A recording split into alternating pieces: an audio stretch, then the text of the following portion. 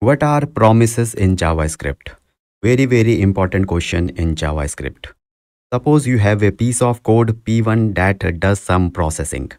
Now, if you will apply promise to this prom, uh, process P1, then promise will make sure to give back some result. Okay, either the result is completed, fulfilled or resolved or the result is an error.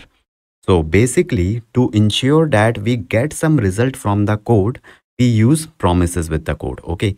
Now here is the pseudocode uh, pseudocode of promise. The first first thing that happens inside a promise is an asynchronous operation with the help of the set timeout or set interval asynchronous methods okay?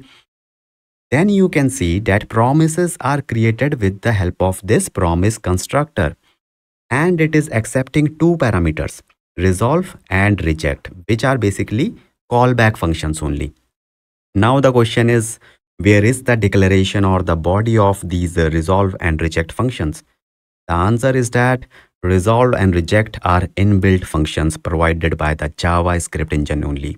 You do not have to write any declarations for them, okay? After the synchronous co code, if your promise operation is successful, then it will call the resolve function.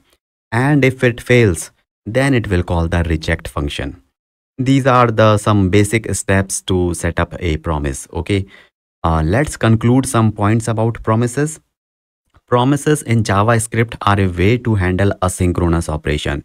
That is their first uh, uh, promise. Then a promise can be one of, in one of the three states pending resolved or rejected. No other state. So when the promise is running or executing it is in a pending state after getting the result, it will be either resolved or rejected state. Okay, the last point about promises is a promise represents a value that may not be available yet but will be available at some time in the future. It means when you make a promise, it will take some time to execute, but in the future, future means like 3 to 5 seconds or not 3 to 4 years, okay? So in the future, you will surely get the value or the result, either success, failure with some reason. Okay, that is the promise.